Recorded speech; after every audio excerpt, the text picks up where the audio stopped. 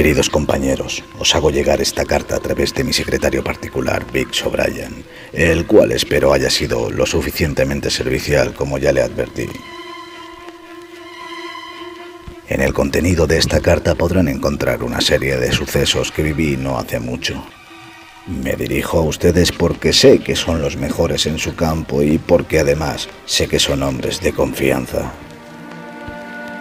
Hace ya más de un mes realicé una expedición al centro del Amazonas en busca de una civilización muy antigua. Las informaciones y todos los estudios que había realizado me llevaron a la conclusión de que podíamos encontrarnos con algo con lo que el hombre jamás había podido soñar.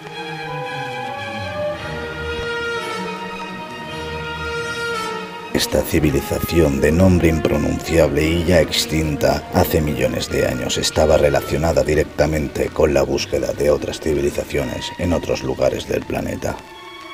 Ciertamente este es un misterio al cual me niego no a descifrar. En algunos escritos y diferentes relieves encontrados nos indicaban que estos lugares fueron gobernados por seres ancestrales y adorados por seres humanos.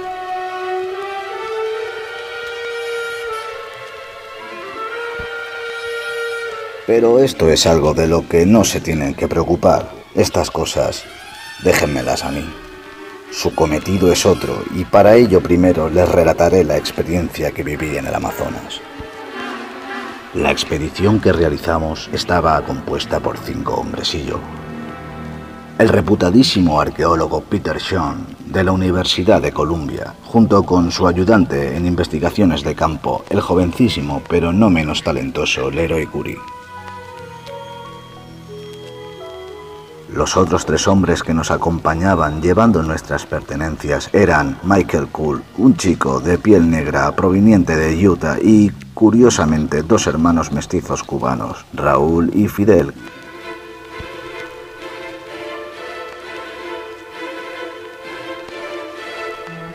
Las dos primeras semanas de expedición fueron desastrosas, al igual que desesperantes.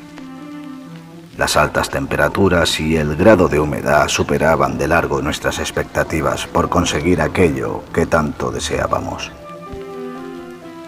Una de las mañanas al despertar nos dimos cuenta de que el chico negro no estaba. Rápidamente chequeé nuestras pertenencias para comprobar que no nos había robado, pues eso fue lo curioso. No había desaparecido nada.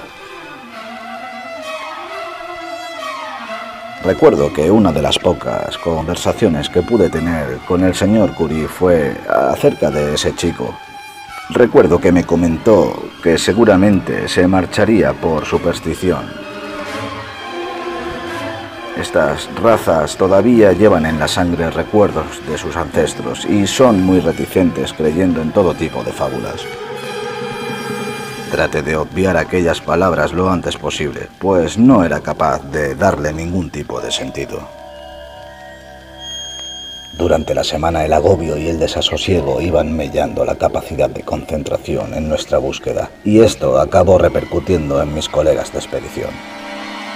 El señor Sean y el señor Curie se reunieron conmigo para decirme que no continuaban más con la expedición, yo no quise reavivar ningún tipo de polémica y entendiendo su punto de vista, me despedí de ellos de la forma más cordial posible. A pesar de todos los inconvenientes que me había ido encontrando por el camino, estaba completamente seguro que cada vez estaba más cerca de llegar a mi destino.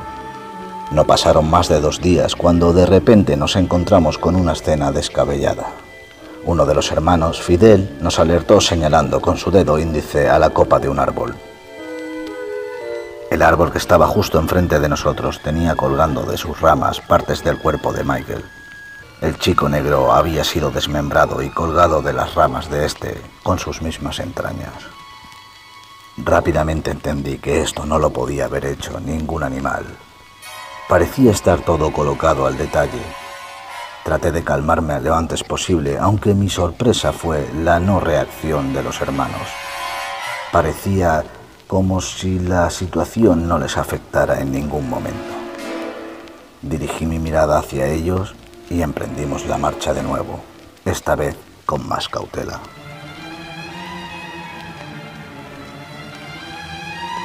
No había caído el alba y uno de los hermanos me despertó con bastante desasosiego. Abrí los ojos y encendí mi linterna, intentando enfocar de dónde venían esos gritos. No tardé en localizar a uno de los hermanos que se encontraba a unos metros de mí. El chico no entendía bien mi idioma y no dejaba de gesticular diciéndome que le siguiera. Después de un par de millas caminando por aquella espesura pude ver cómo frente a mí se abría un gigantesco agujero en el suelo. El hueco de aquella boca infernal estaba decorada con relieves muy similares a los que aparecían en las notas de mis investigaciones. La puerta al mismísimo infierno se abría ante mis ojos. Tras una minuciosa observación, se podía adivinar cómo dentro de aquel gigantesco cráter unas escaleras ya erosionadas por el tiempo bajaban y bajaban hasta perderse de vista.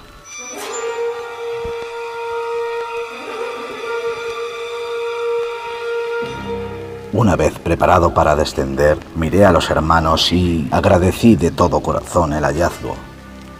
Mis investigaciones empezaban a dar su fruto.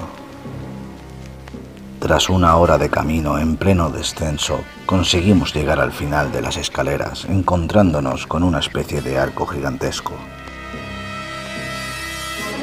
Aquella entrada en forma de arco parecía estar cubierta por cientos de miles de huesos, al igual que todas las paredes que nos rodeaban.